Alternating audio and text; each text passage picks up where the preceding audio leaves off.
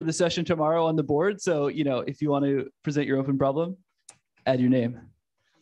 All right. So for the last uh, session of the morning, we're really happy to have uh, Sham Kakade here, and he's going to be telling us about, you know, the statistical complexity of reinforcement learning, right? So, you know, if we want to understand sample complexity in multi-agent RL, where, where do we have to start? Single agent RL.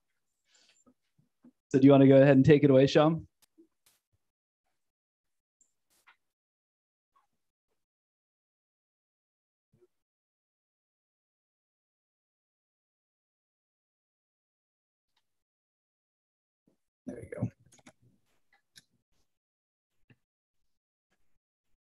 Okay, great. Uh, thanks everyone for uh, for joining, and thanks to Simons uh, and the organizers for uh, putting together this uh, forward-looking workshop.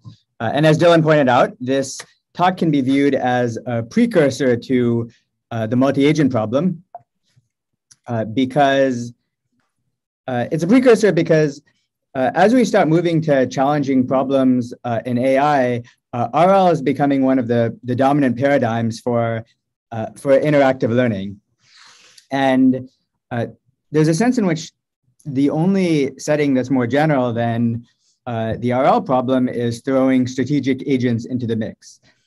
so the focus of this talk is really going to be going through understanding this precursor problem of how we deal with um, large, high dimensional interactive decision making prob- uh, problems and trying to get at the, uh, the statistical complexity of, of these problems. So uh, let's quickly remember our challenges in reinforcement learning. We've got exploration, the environment may not be known. We've got this credit assignment problem in that we have to take a sequence of decisions uh, to obtain some uh, rewards. And on top of all of that, in challenging problems, we've got uh, high dimensional state and action spaces.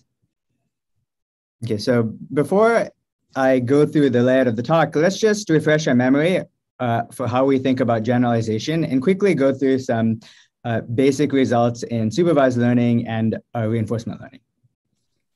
Okay, so starting with supervised learning, um, the bottom line in supervised learning is we have a pretty good idea of how and why we can generalize in supervised learning. And by that, I mean, uh, we can get reasonable uh, image recognition systems without seeing every possible image in the world. Okay, so in particular, uh, we can do well in this agnostic learning setting, meaning that if we want to find the best classifier in some hypothesis class F or best regressor, uh, and you know, to some epsilon uh, additive approximation, the number of samples we need scales only logarithmically with the size of this class. You know, there are many generalizations of this to finite dimensions, uh, margin-based results, uh, neural networks uh, with bounded VC dimension, and so on. But we have a number of complexity measures that in various settings uh, are oftentimes even if and only if statements for when we can uh, generalize. The key point in supervised learning is we can reuse data. so with a training set, we can try out every classifier uh, on our training set to see how well it does. Let's look at RL. Uh, I'm going to use the standard notation for reinforcement learning. So states are actions, uh, R is rewards. We have an underlying process, a Markov process where the agent takes an action, observes the state, obtains the reward, uh, and uh, transitions to the next state. So uh, our policy pi is a mapping from states to actions. Uh, we are going to observe a trajectory uh, once we execute our policy. So think of a trajectory as a sequence of state action reward uh, pairs over H steps. So we uh, will execute a trajectory and we'll, so we'll execute a policy and we'll observe a trajectory. And our notation is going to be the standard one where we have a value function of the policy at state S. So this is the future uh, expected value over H steps of starting at state S and taking policy pi. And we have this an analogous sort of Q function, this one step look ahead function, which is we start in S, take A, uh, execute it for H steps. Uh, this will be our execute the policy pi for H steps. This will be our expected reward. Okay, and our goal is to maximize a policy from some, say, fixed starting state or distribution over start states. And the key in the setting is uh, just like supervised learning, we're going to assume we don't know the world. Uh, so we have an unknown Markov decision process. We're going to act for H steps, and then we'll repeat. So we've got this episodic setting. Okay, and what we'd like to do is min, um, you know, minimize some notion of regret or obtain good performance. Okay, so uh, let's cover some uh, basic results here before we bump up a level and ask, ask our question. So uh, the most basic uh, setting here is let's just assume uh, the, the problem is small, like this grid world kind of example, and maybe there's uh, stochastic dynamics here. Okay, and you know we've got this beautiful result uh, going back to Kearns and Singh, uh, showing that there is an algorithm with with a polynomial number of samples uh, in the number of states, actions, and horizon that can actually find a near optimal policy, and it can get low regret. And this is non-trivial because to do this, you actually have to balance exploration and exploitation. And they had this clever method of kind of propagating uncertainty bonuses through a dynamic program. Okay, and, and even this is uh, non-trivial, unlike the supervised learning setting. Okay, so let's uh, look at the other extreme because the types of problems we're interested uh, in RL are these big problems. So we can ask uh, this question of what about uh, finding uh, say some policy or value function uh, that's best in class, like the analog of this agnostic supervised learning problem. So in particular, we can ask this question of, can we find, uh, say, the ep epsilon best policy, again, with no dependence on the number of states, uh, just like in image recognition, we want no dependence on the number of images in the world. Uh, so we'd like to have no S dependence, say polynomial horizon dependence, and maybe logarithmic dependence on uh, the, the number of policies in the, say, finite policy class. So this is like the most uh, basic agnostic uh, reinforcement learning question. Okay, and it's not too difficult to convince yourself that, in fact, this is not possible. Uh, that, you know, just uh, consider a binary tree where, you know, you can move between nodes. There's one unknown rewarding leaf node. Okay, there are two to the h possible policies, and it's pretty clear you're going to have to try uh, essentially all of them to find this rewarding leaf node. So you can't really get below uh, either 2 to the h or log number of policies. Okay, so this rules out this. Uh, Sham, uh, sorry, is that supposed to just be number of policies rather than log number of policies? Ah, yes, that's a bug. Sorry. Yes, thanks, Dylan. Um, yes, let me fix that. Yes, that should be a number of policies. So you you can't get uh, you can't really get um, uh, log dependence. Uh, sorry, no, no, no. Uh, that is, uh, uh, sorry, it's the max of those two. Sorry, that, that's what I meant. Uh, so, the, but, but the basic point is that, sorry, no, no, it's, it's min. The, the, the basic point is you cannot get a logarithmic dependence until you have a to the h samples. Okay, and the converse of that is once you have uh, exponential H samples, you can actually get logarithmic dependencies. Okay, and the basic point here is unlike supervised learning, uh, we can't reutilize the data very easily because because of the interactive nature of this pro problem, uh, we have to try a policy to obtain data, and it's not obvious that this is going to be informative of the performance of other policies. Okay, so what I've tried to set up now is two extremes. Okay, so we've got this one case when we where we have a tabular MDP. Think of a tabular MDP as um, you know, I call it tabular because just the number of states and actions are small. So when we try solving this problem, we can kind of enumerate over the states we're visiting. So that one we can solve efficiently in terms of a, in a statistical sense.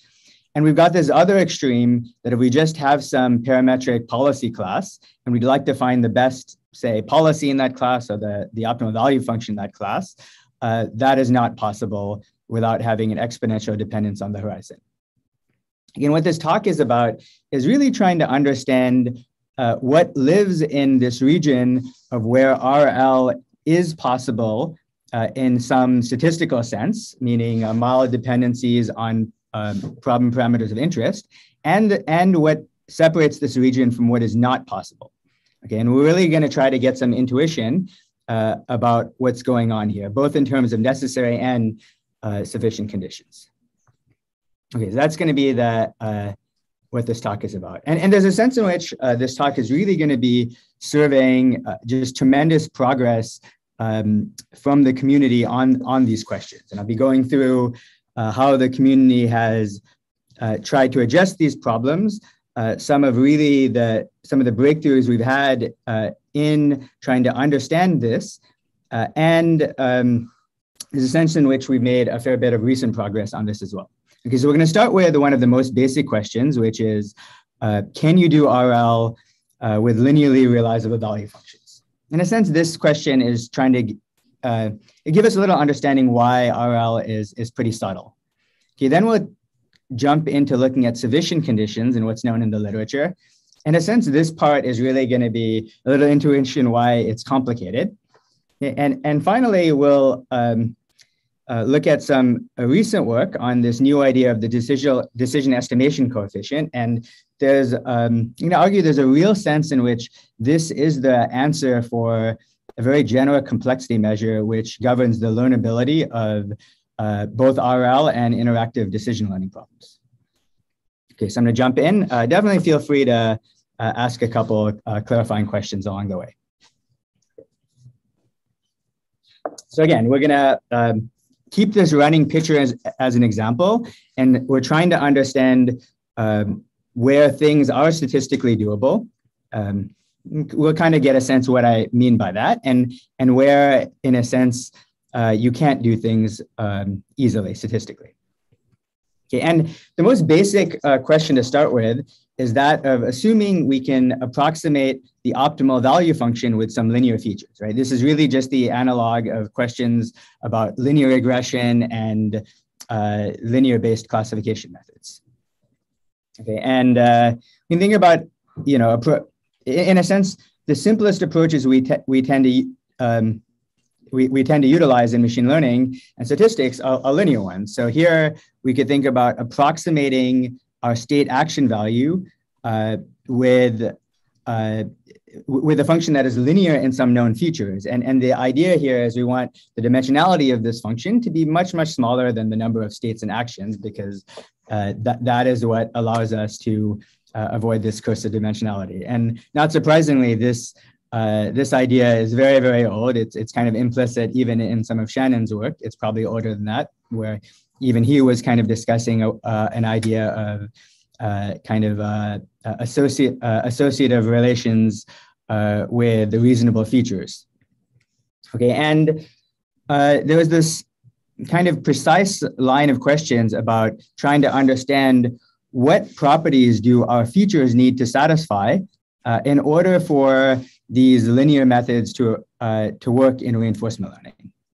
Okay, and you know, these questions are really analogous to uh, what we do in, say, supervised problems or say bandit problems when the horizon is one, like a, a linear bandit problem. Okay, so precisely, uh, so, so here's um, one precise uh, result, which is um, uh, a bit surprising. Uh, and, and I think this really has a lot of deep implications for, uh, for how we think about RL and you know, to the extent that RL is relevant for agents, this has um, uh, deep implications for the multi-agent setting as well. Okay, so the simplest assumption you can possibly think of uh, with regards to linear maps is let's just suppose Q star lives in the span of these features. So for every state action pair, there exists some weights such that this optimal uh, value function lives in the span of these features. Okay, and uh, we can also make the problem easier by making an assumption that the best action has value that's you know non-trivially better than the second best action. Right? So in like the in, in a multi-arm bandit problem, this is known as a large gap assumption. Uh, and it basically says it's very easy to identify the best action. Okay, so these are two assumptions where we might hope uh, to make that that will make the problem easier to to to solve. Okay, and uh, basically there was a series of results uh, uh, addressing this problem. Okay, and uh, in one of the stronger versions of it, it's this uh, theorem here, which says, assume we have an MDP which has this linearly realizable value function, and you have a suboptimal suboptimality gap. Okay, and you're in this episodic setting where you don't know the MDP, you just start, run for H steps, and repeat. Okay, and uh, the point here is that you need a number of samples that's exponential either in the dimension or the horizon to find some policy that is uh, additively close to optimal. Okay, and this is like a slightly stronger version of this result by Weisz et al. And uh, you know, I, I would say technically this result by Weisz, this is really a breakthrough result. I mean, many people had been thinking about it, and this really has uh, deep implications because there's a real sense in which the baby case in RL, which is linearly realizable value functions, we cannot solve this statistically. Okay, and this result holds, uh, say, without a gap, even in a gen- with a generative model, for those of you familiar with that. And, and these are pretty subtle uh, proofs. So, so the proof here is actually relatively concise, but it is, um, you know, it, it takes a while to understand what's going on here because there's a lot of subtleties here. Okay. Uh, and it turns out that the analogous result for uh, linear realizable policies is also not sufficient for sample efficient RL, meaning that if the policy uh, can be realized with a linear classifier with a large margin, uh, then you also can't do uh, RL uh, sample efficiently where you'll need either exponential the, the dimension or horizon samples. Okay, and in a nutshell, uh, we're seeing a separation now between the horizon one problem and the horizon greater than one problem because the horizon one problem the analogous problems are you know bandit classification or regression which we know we can do with a polynomial number of samples. Okay but once the horizon becomes larger than one uh, we start degrading exponentially. Okay so uh, this is in, in some ways um, a bit disappointing because it really is suggesting we're going to need more complicated uh, assumptions to get things to work. Okay, and, and it is, you know, it's the, the most obvious thing we would try. Okay, so let's go back to our, uh, our picture here. Uh, so we've got these tabular MDPs which we could do. And disappointingly, uh, you know, what's our game here? We, we clearly can't do things agnostically, so we make stronger assumptions. But the most natural, stronger assumptions we make, we still can't do it. Okay, uh, so now we might start asking what are uh, sufficient conditions uh, for RL, meaning can we get a sense of what lives inside here? And note that this is a bit of uh, a subjective um, uh, um, line in that I'm, I'm calling like exponential quantities in the um, exponential problem dependent quantities, uh, having those dependencies as being RL not being possible. Okay, so, uh, so if we have an exponential in D quantity, uh, I'm going to place those types of problems outside of this, uh, this red boundary. Okay, so, so let's try to get a sense as to what are sufficient conditions. Okay, and I'm just going to summarize uh, some of the ways we've, uh, uh, the community has attacked this problem and some of the progress that has been made. The question's up to here. Okay, so on to sufficiency. Okay, so uh, we know we can't do best in class. Uh, we know we can't do linear realizable Q star. But not surprisingly, if we start making stronger and stronger assumptions, there's lots of things we can do. So there's a whole lot, uh, there's a whole list of uh, various assumptions where uh, we can do things well. And we might be asking, you know, what's the relationship between these various uh, model classes, and what permits sample efficient learning. Okay, so, so let's just uh, try to get a sense of uh, these various different models uh, and uh, generalizations and structural characterizations of when things are possible. This is a picture. It turns out, well, we know linear uh, LQRs, you can do sample efficient RL. in a sense, they're even simpler than MDPs because you don't really need to explore. Uh, there's a very influential model by uh, some of the participants in this uh, in this workshop, Chi, who, who gave a talk uh, this morning, uh, the, this linear MDP model. Um, block MDP is another model where it's a different set of assumptions where you can do sample efficient RL. linear mixture models, th these, these two models, there's a sense in which they are pretty closely related. They, they both are kind of um, stronger linearity assumptions on the dynamics that let you do efficient RL. So they're much stronger than linear Q star, but on the other hand, we know we need to make stronger assumptions. Uh, uh, some conditions on POMDPs, which lets us do it efficiently in high dimensions. Uh, we can kind of kernelize this LQR, uh, factored MDPs, uh, this pretty nice uh, setting where we can even think about a notion of feature learning where we can uh, do efficient RL. Okay, and you know the, the, the question after a while might be, what are the commonalities uh, that are, are, somehow characterizing uh, the structure that is allowing us to do this? Like, is it just going to look like a big laundry list of models where we can do RL efficiently? Okay, and there was this uh, really a, a, breakthrough paper, this Bellman rank paper, uh, and it was a breakthrough conceptually in that I think it really started understanding the underlying structural conditions which allowed us to do sample efficient RL. I'm not going to uh, go into too many of the details of this paper, but it really was uh, the first paper. It was a bit overlooked at the time, uh, but now people, yeah, like everyone knows that they, they really had some very deep insights here for uh, what's going on that actually allows us to solve some of these problems. Okay, and uh, there's another related concept, Bellman completeness.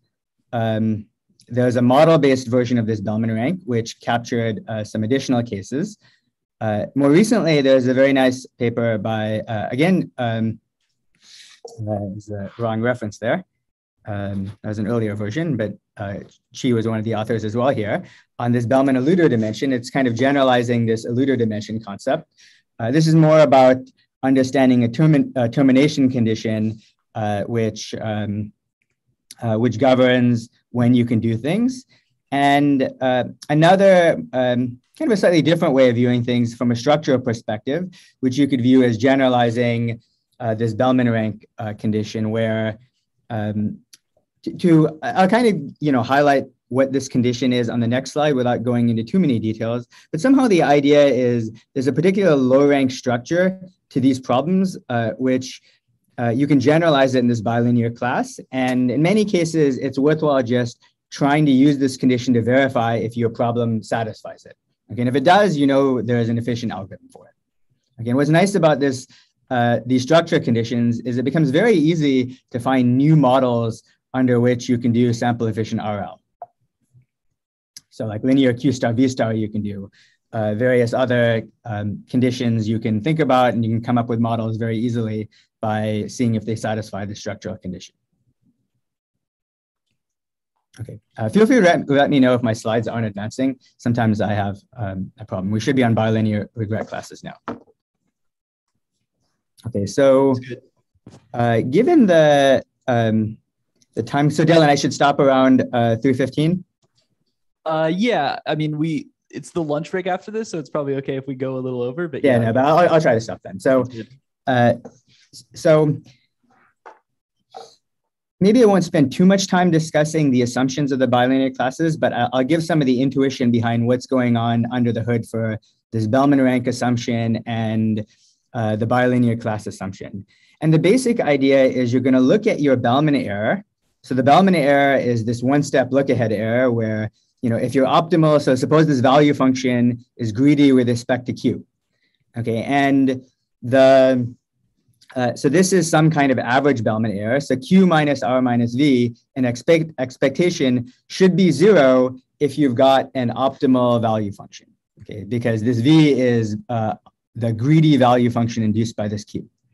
Okay, and the idea now for a lot of these approaches is the structural condition somehow posits that the average of this uh, Bellman error somehow uh, lives in a low dimensional space. Again, what's interesting about this assumption is you don't necessarily need to know the features of this um, uh, uh, of this uh, average Bellman error. But if you have this a type of property like this, uh, where this average Bellman error is small under uh, various other roll-in policies, uh, then somehow the idea is this allows you to try to generalize and reutilize data because you can try to enforce this average Bellman error to be zero under other policies, right? Somehow the key for supervised learning is we have a way to reutilize data. And the idea for these approaches is there's some assumption which allows us to try to, you know, enforce this Bellman error is zero by reutilizing past data. Okay, so I'll let people look at the details uh, of these papers, but uh, it's a much stronger assumption that um, uh, that we need to impose to get things uh, uh, to work. Uh, and if you have it, you're good. Okay, but it's subtle. Okay, so let's bump up a level now and go back to our picture here. Okay, and it'd be nice if somehow this was the full story, but uh, it kind of isn't because we do realize that uh, almost certainly the, the RL problems in practice we want to solve once we start mixing in, say, deep learning approaches and so on, they're going to have to go beyond, I think, both these eluder and bilinear types of approaches. And on top of that, uh, we kind of believe, you know, we don't really know what the boundary is out here. And so in particular, uh, there may be natural things um, that, that actually do live out here. Uh, and particularly this is relevant when we start thinking about uh, even more nonlinear types of approaches. Uh, and uh, we'd also like to potentially get better insights for algorithms that will work under various assumptions. Okay, and we know this is partly the case because uh, there's deterministic linear Q star assumption. So, you know, linear Q star doesn't work, but if the dynamics and rewards are deterministic, then you can in fact solve this problem. And that lives outside of, uh, uh, of, of what we know. So uh, now let's uh, think a little more broadly and ask, are there necessary and sufficient conditions? Like, can we really pin down uh, the, the line in the sand, which separates what's learnable in, in some polynomial sense and what isn't? Okay, and uh, you know, and this is a very general question. It's like, can we really pin down uh, what actually governs the learnability of uh, interactive learning problems under different modeling assumptions? Okay, so this is part three, and this is going to be some uh, pretty recent work. Okay, so so let's bump up a level and consider an, a more abstract setting, uh, which is this decision making uh, with structured observations. Yeah, there's a sense in which uh, this is basically just an RL setting, but I think phrasing it this way uh, lets us think a little more abstractly. Okay, so uh, so th this uh, DMSO setting is a setting where uh, we have a, a, decision set pi. So this is the set of feasible decisions. They could be in bandits, they could be arms. Uh, in RL, it's going to be policies. and in this abstract setting, I'll ground it in a moment. we have a distribution uh, over a reward, you know, it's going to be an episodic setting. We have a distribution over reward R and observations O for every policy. So if we place some, some decision pi, then the world specifies a distribution of the reward we obtain and the observations we see. And the observations could be uh, just something in an abstract space. Okay, and the, the game is as follows. So for every time step, uh, the learner is going to place some pi t. Uh, you know, that could be a policy, uh, it could be an arm well, nature is going to re reveal some uh, reward RT. So this is capital R to distinguish it from little r and RL. And we're going to observe some observation OT sampled from this underlying distribution. We, we just repeat this for a while. Okay, so uh, just to be concrete, uh, the way RL fits in this framework is uh, these pies are policies. Uh, what we're going to do is at every episode, we're going to uh, place some policy the total reward in this episode, this big RT, is going to be the sum over the little rewards we see over the H steps. And the observation we obtain is just the trajectory of what we observed over the H steps. This is really a very abstract setting, this DMSO setting. These are just questions about the setting right now. And so don't, you know, so, so think of big R as just the, the reward in the episode. So it's really the sum of the little R's in RL, and O is any kind of abstract structured observation space. We good? Okay, so so what's our um, uh, abstract goal here? Right, because um, you know, obviously, I could have like uh, said DMSO is like a setting of RL2, vice versa, but it's nicer to kind of abstract it away. Say we have the scalar reward, which is you know RL, the sum of the little rewards, and some very structured observation space, which is how nature gives us information. And uh, what we're going to ask is really a decision theoretic analog of these classical optimal statistical estimation questions. Okay, and uh, uh, that question is as follows. So let's just suppose we have a set of models. Okay, and think of a model as something for which um, it, it's something for which for every uh, m in your model class, that's going to specify a distribution over the reward and observations for any policy, right? So an MDP is a model because for every policy, you have a distribution over trajectories and rewards. Okay, so for example, one, one example of a model class is the set of all tabular MDPs. Okay, and you can even do uh, model-free approaches here because you know just let this uh, model class script m just to be the set of all MDPs whose optimal value functions are consistent with being linear in this given feature mapping phi. Okay, so this is very abstract. Uh, you know, the, the, we call it models, but it's very easy to make it uh, value-based or policy-based just through uh, through uh, assumptions like this. Okay, now let's go uh, go ahead and make this realizability assumption where we're going to say uh, there is some uh, model where the truth is in this model class. Some kind of hand waving notation by dropping the subscript because for every model it's associated with this family of distributions. But let's suppose there is a model such that the truth is in the model class, meaning that for every policy pi and pi, that's going to be specified by, uh, you know, the distribution of RNO is going to be specified by some uh, big M. Okay, and, and what's our, uh, uh, uh our, our regret question here, our optimal statistical estimation question here? Okay, so let's say the value function is just the expected reward uh, when we play decision pi. It is just like RL. So in model M, V pi of M is just the expected, uh, you know, the uh, reward in that episode, given that we play pi. And our abstract optimal estimation question here, this uh, min-max question, is what's the best we can do for an arbitrary model class script M uh, when we know the truth lies in this class. So this is a min over all learning algorithms. Uh, you know, the nature is going to um, um, make things as uh, worst case as possible. And we're going to uh, measure ourselves by our regret when we don't know the, the underlying model. So this is the best we could have done in the truth versus the performance of our, our, our uh, online decision-making algorithm, which you know observes the uh, it, it uh, sees the observation and it, and it can update the decisions it takes at the next episode. Is there questions about the setting? So this is very general. It basically will capture all of the different settings we had before. And we'd like to understand, is there a way to start thinking about uh, the rate uh, we can obtain here based on properties of the underlying model class and various other regularity conditions.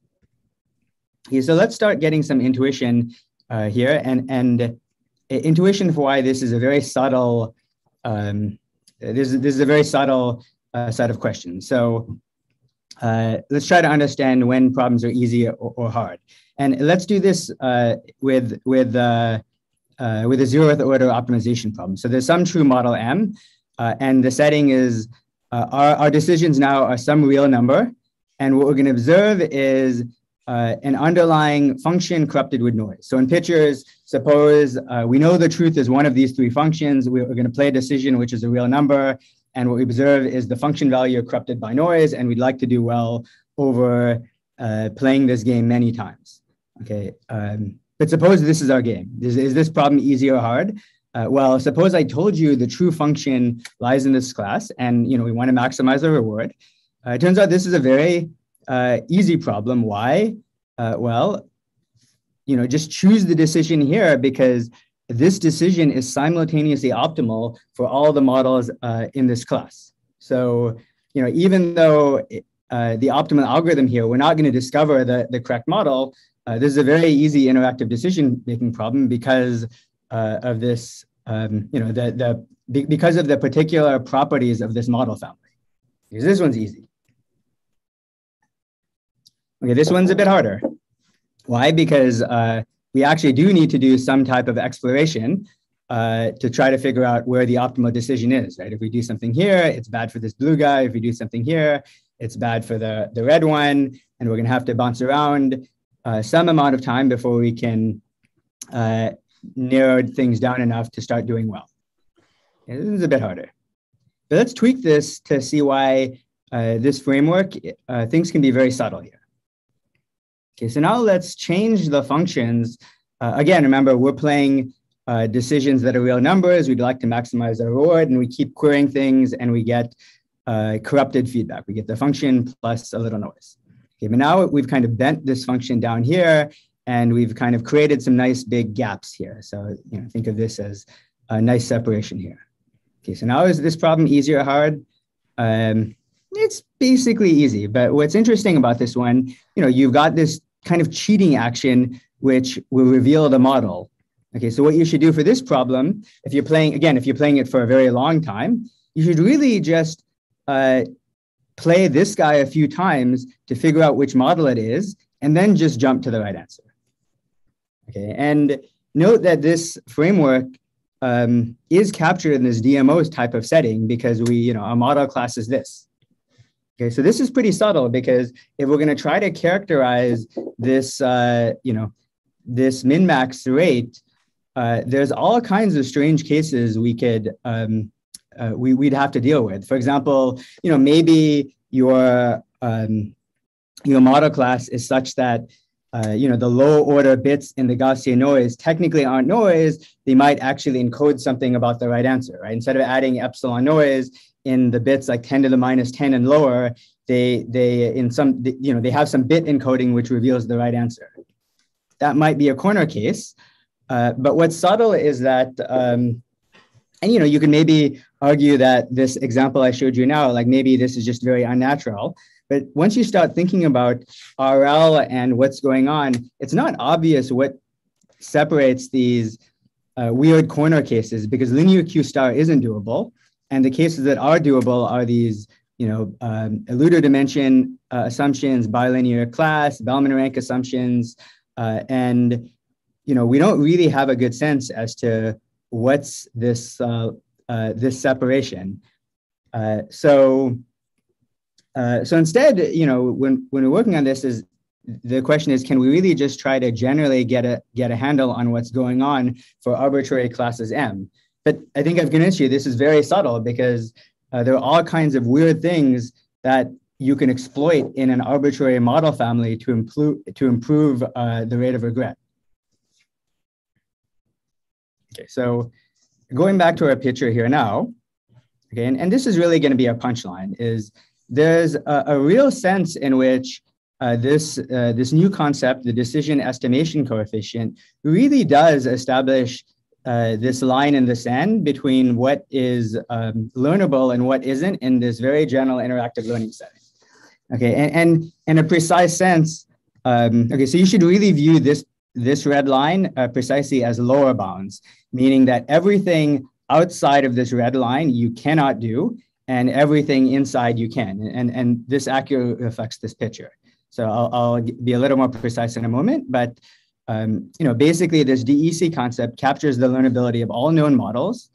Uh, and there are some subtleties, but there's reason to believe that um, with regards to sufficiency, anytime it's bounded, uh, we do believe that, in fact, there is an algorithm, uh, you know, but we need some stronger assumptions to get sufficiency.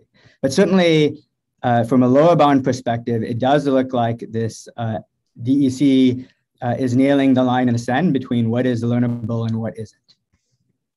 Okay, so, so let's see what this complexity measure is. Uh, I'll just try to state uh, what it is and give a little uh, intuition about it in the remaining, uh, remaining few minutes. Okay, so uh, it's gonna, you know, we'll start by defining, defining with respect to some reference model in our model family. Okay, this gamma is gonna be a scale. Think of this scale as uh, being like root t, which is the number of episodes you're gonna you're gonna play. But think of this as an arbitrary scale now, trading off regret and uh, information.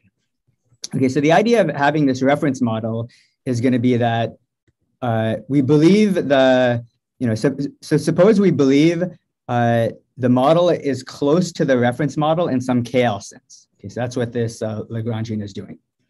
Okay, and what this co- what this coefficient is, you can think about this as a game between uh, the the learner and uh, nature. Okay, so the learner is going to pick a distribution over a decision. So this is going to be just a distribution over policies, The nature is going to pick a model. Okay, and then we're going to look at uh, this expected quantity. The first term is just the regret. So this is just uh, how much, you know, this is our suboptimality uh, in expectation for the model that uh, nature has chosen. Okay, so that, that's just the usual regret. Okay, but the second term is uh, interesting because uh, we're getting um, a discount, we're, we're, getting an improvement if it turns out that for the decision we played, uh, what we're observing is far from the reference model. Uh, why is that helpful? Because that's giving us information that, in fact, uh, uh the model is incorrect. Like it'd be very bad somehow if we, what we played was uh, uh, had regret and somehow it wasn't giving us any information that distinguishes it from this reference model. Again, gamma kind of trades these two off. And this is sort of why this name is the, the decision uh, estimation coefficient. So technically, the, the paper uses uh, the, the Hellinger distance, but Hellinger, like, this, is, this doesn't really matter. It's just for some technical, technical reasons. Okay, and then when we define the DEC, uh, we're just going to take uh, a max over these reference models. Okay, uh, but it's an interesting notion, and certainly, you know, it has some relations between prior quantities. Uh, if we think about reversing the order of this max and min, it also makes some interesting connections to, uh, to Bayesian approaches.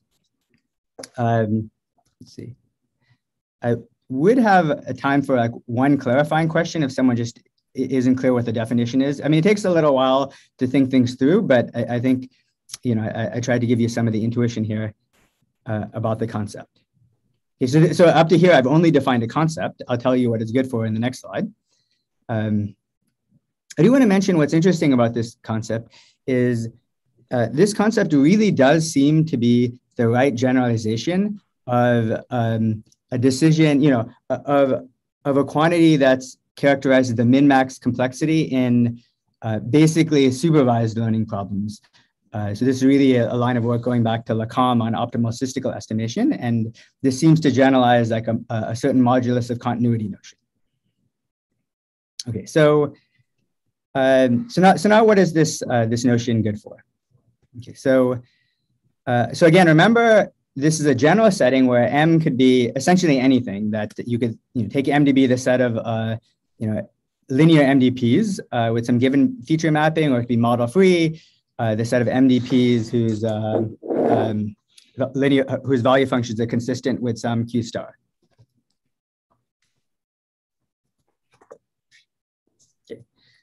So, so now let's look at the upper and lower bounds here. Okay, so uh, the lower bound is uh, really, uh, really nice here because it's very, very general. Uh, it, it's just some really minor regularity conditions. Uh, and what we have is that uh, the regret for any algorithm is lower bounded by, you know, we take a max over these scales, and we're really just trading off the this coefficient at scale gamma times t versus gamma. So, you know, I think of gamma as like uh, one over root t. This often recovers uh, results in, in many settings. But, but this lower bound uh, basically is a very, very general lower bound. It turns out for upper bounds, we have to make further convexity assumptions, and then we can obtain upper bounds in terms of uh, some way to get at a supervised learning error. Okay, so i will let people look at the, uh, the details, and that's why, in a sense, this doesn't entirely close uh, things, and you you know you you wouldn't expect to uh, to grab quite everything, but in terms of a lower bound sense, uh, there's not much reason. We don't have any reason to believe this doesn't this lower bound doesn't capture just about everything. I mean, certainly it's a valid lower bound, but uh, we do believe that uh, whenever you know that that it's achievable in in all reasonable cases. Okay, and in particular, you know, for for these sort of convex M, uh, that we get sublinear regret if and only if this um, this decision estimation coefficient decays uh, with respect to gamma at some uh, polynomial rate, and then we'll get sublinear regret. Okay, and, and to support this uh, this point, why this uh, this assumption really nails things down is, you know, just end. Okay, so before I get to that, uh, I, I, do think it's worth emphasize that uh, th- this framework really is uh, generalizing this, um, you know, very important and elegant classical theory of optimal statistical estimation due to Le Cam. And it's really bringing this to the interactive uh, learning setting in a very general sense. And this is a much more challenging setting because, you know, the game is, you're not just going to do MLEs for this setting. You actually have to interact with the world to, to, uh, to be optimal. Okay, so before ending, let me, uh,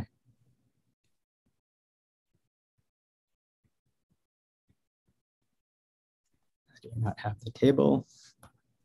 Okay, so um, just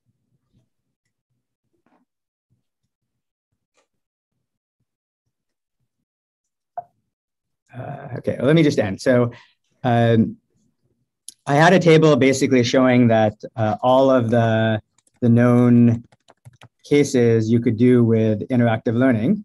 Let me uh, see if I can find it.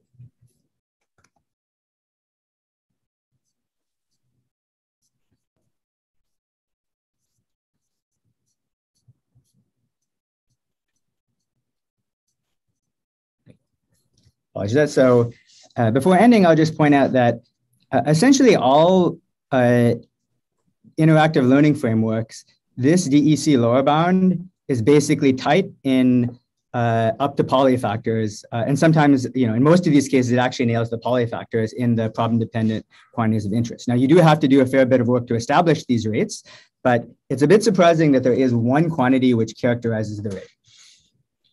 Okay, so finally, let me just wrap things up. Uh, the main point here is that uh, we're getting a theory of how to handle RL in these high dimensional problems, which is clearly relevant if we start moving to more challenging multi-agent problems. Uh, we got some intuition that linear realizability we couldn't do things with. Uh, there's a framework uh, for uh, getting sufficiency. There's a couple of different frameworks that are natural.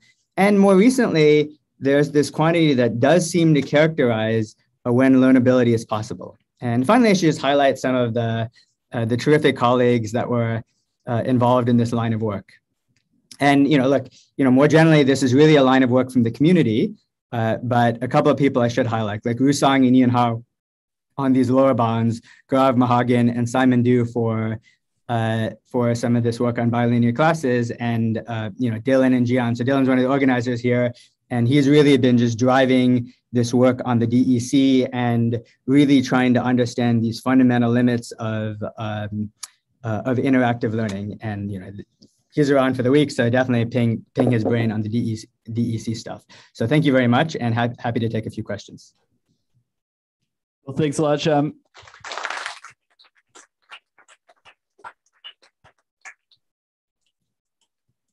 yeah, we can take some questions before we head off to lunch. Uh, yeah. Hi. Um, in your definition of DEC, um, you said that uh, essentially you build a Lagrangian. Have does your definition also directly extend if you consider instead like um, a distance in terms of epsilon? And you had like a coupled min max problem there instead. Uh, when you say coupled, do you mean constrained or do you mean like a constrained coupled optimization problem where you're also looking for the optimal gamma there? in some sense. Like you you pick an epsilon, so you pick the epsilon that defines the KL divergence, between the two things. And instead, you're looking for the optimal like Lagrange multiplier, the KKT multiplier associated with that epsilon. Uh, so in a sense, okay, so there's a there's definitely a couple of, uh, a few subtleties going on here. So uh, in in the way this proof works, and in you know the the, the lower bound. Okay, I, maybe I'll comment on two things, and maybe Dylan can add a bit more. So with with regards to the lower bound, uh, we're optimizing over uh, this gamma. So that is coupled. And it's actually important to trade it off with a gamma here because in a sense, like if you think about multi-arm bandits, there's this trade-off between, um, you know, if you do kind of don't discover the right thing, what do you get? Okay, so so from a lower bound perspective, um, it, it's explicitly in the statement because you are optimizing over the gamma. Uh, now, for the upper bound perspective, things are more interesting because uh, you would like to use this for deriving uh, the framework, but you know, this you know you could view this as just some some types of unknown. You you, you know you, one would have to I think have problem dependent information to understand how to set gamma with regards to um, upper bound algorithms. And you know, one can see that in multi-arm bandit frameworks. And I think one implicitly sees that in uh, like the SquareCB work that Dylan has done. Maybe Dylan can you can add a couple of comments. Uh, uh, oh yeah, I, I, mean, I can just briefly say like, yeah. So the conditions you would like to ha- use to relate this to kind of a constrained version, they don't exactly go through due to various like properties of the setting. You can kind of do lower bounds in terms of like a constrained version of this quantity, but yeah, the upper bound's not obvious. Right. But I think part, but the other half of the question was about uh, um, if you could actually set the value of gamma like in the program somehow. Oh yeah. Um, yeah, there, there's a sense in which you really shouldn't be able to do that in like a yeah. data dependent fashion. Yeah, that's the that's the point, yeah. right? Like uh, you kind of need some problem dependent quantities to get. It. I mean, for the lower bound, there is a sense in which it is set because we just have a max over all the scales. Um, for sure. Uh, let's see. Are there any other questions? Oh, hi, Pong. Yep.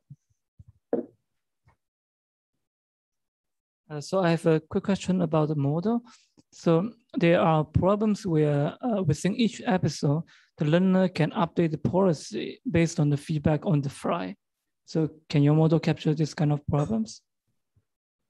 Uh, yeah, I mean, uh, be, because um, uh, so I mean the DM the okay. So abstractly, the answer is yes. The DMSO does, but in terms of the way the lower bounds work, they aren't really getting at um, uh, you, you know like it, think of it this way. If i told you h was like super super long and you only had one episode uh, and if you mixed then you could solve uh, you know you could do rl like the lifelong learning kind of setting. In the lifelong learning setting t is one.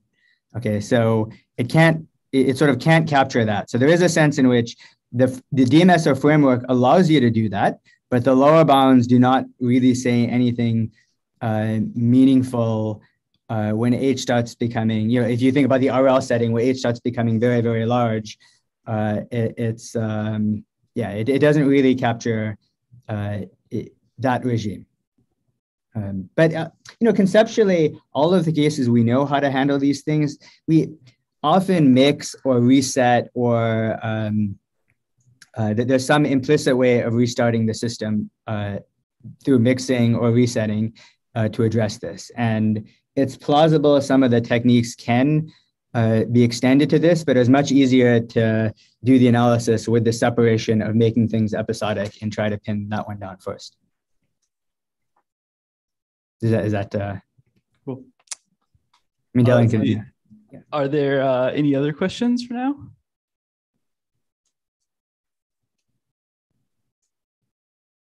All right. Uh, oh, I'll just check the chat. No, no, no questions in chat. Um, yeah. So I guess if that's it, I guess we can stop there and uh, you know go for lunch. Uh, but yeah, let's thank Sham again. It was a great talk.